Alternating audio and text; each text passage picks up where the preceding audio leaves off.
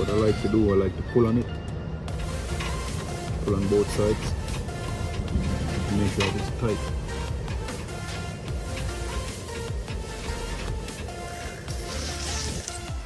So there you have it, you have the black goes to black and the white goes to red and brown.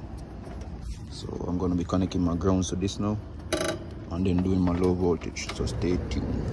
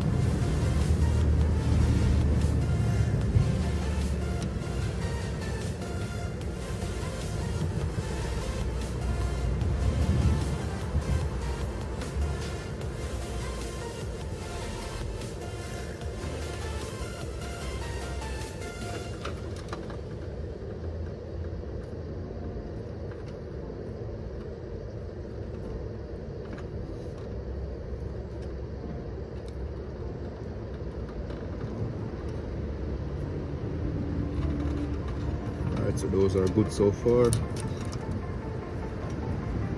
I'm about to do my low voltage.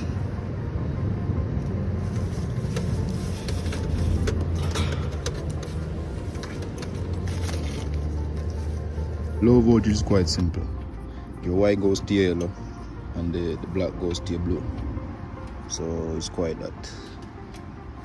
So look out.